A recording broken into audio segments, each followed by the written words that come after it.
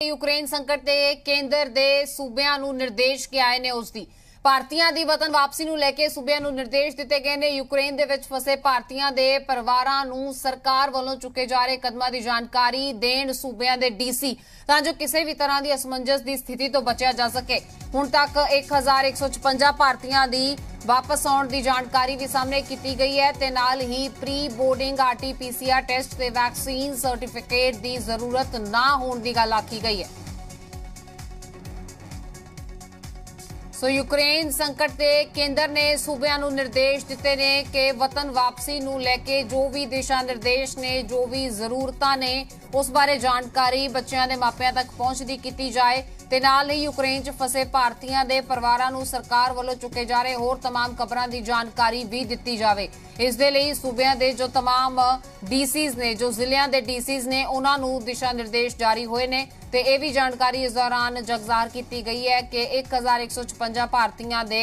ਵਾਪਸ ਆਉਣ ਦੀ ਪੁਖਤਾ ਇਨਫੋਰਮੇਸ਼ਨ ਹੈ। ਉਸ ਤੋਂ ਬਾਅਦ ਪ੍ਰੀ ਬੋਰਡਿੰਗ ਆਰਟੀਪੀਸੀਆਰ ਟੈਸਟ ਤੇ ਵੈਕਸੀਨੇਸ਼ਨ ਸਰਟੀਫਿਕੇਟ ਜਿਸ ਦੀ ਜ਼ਰੂਰਤ ਮੈਂਡੇਟ ਸੀ, ਉਹ ਵੀ ਫਿਲਹਾਲ ਨਹੀਂ ਰਹੇਗੀ। ਉਹ ਜ਼ਰੂਰਤ ਨਹੀਂ ਹੋਏਗੀ pre boarding certificate pre boarding ਲਈ ਜਾਂ ਫਿਰ ਆਰਟੀਪੀਸੀਆਰ ਟੈਸਟ ਜਾਂ ਫਿਰ ਵੈਕਸੀਨੇਸ਼ਨ ਸਰਟੀਫਿਕੇਟ ਦੀ ਜ਼ਰੂਰਤ ਨਹੀਂ ਹੈ।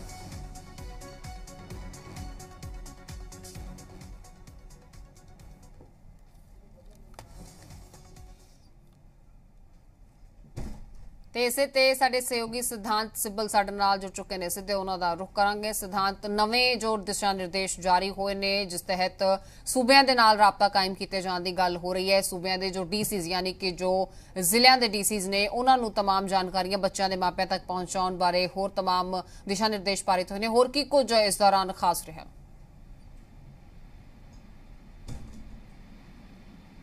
जाएँगे। अब जो बॉर्डरिंग एरियाज़ है इस वक्त मैं यूक्रेन एम्बेसी के सामने खड़ा हूँ। आप देख सकते हैं मेरे पीछे आ, आ, जो एक तरफ़ से यहाँ पे श्रद्धांजलि दी जा रही है और यहाँ पे फॉरन ऑनवॉइस भी आ रहे हैं श्रद्धांजलि देने के लिए। पर कहीं ना कहीं भारत सरकार ने बहुत सारे मेजर लिए हैं मंत्री तो जा ही रहे हैं पर आरटीपीसीआर टेस्ट को लेकर एक तरफ़ से रिलैक्सेशन दिया है। बहुत सारे रशियन स्पीकिंग जो Indian service foreign service officers है उन्हें भेजा जा रहा है। इसके अलावा फोकस यही है कि कैसे जो भारतीय नेशनल्स हैं वो बॉर्डर एरिया को क्रॉस कर सके मैं। अम्बेसी से बस एक प्रेसर से निकला हूँ, जो यूक्रेनियन जो ऑनवॉय ने की है। और उस प्रेसर में उन्होंने तफसील से बताया क्या मसले आ रहे हैं। और क्योंकि ऐसा नहीं है कि भारतीय नेशनल ही है, पर उन्होंने ये भी कहा कि वहाँ पे और भी फॉरन नेशनल्स हैं जो फंसे हुए हैं। और कहीं ना कहीं उसकी वजह से ही वहां पे एक तरफ से कयोटिक सीन हो गया है करीब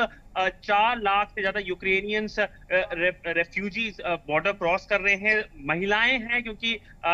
जो मेल हैं उन्हें कहा, कहा कि वही देश में रहेंगे तो कहीं ना कहीं बहुत सारी महिलाएं क्रॉस कर रही हैं और उसी बॉर्डर एरिया में काफी इस वक्त कयोटिक सिचुएशन हो रखी है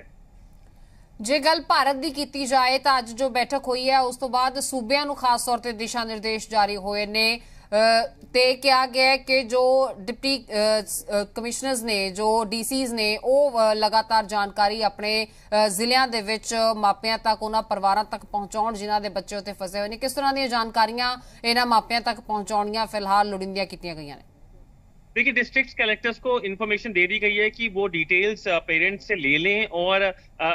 आज जब इम्पोर्टेंट मीटिंग हुई प्रधानमंत्री ने जो एक तरफ़ से चेयर की थी मीटिंग उस मीटिंग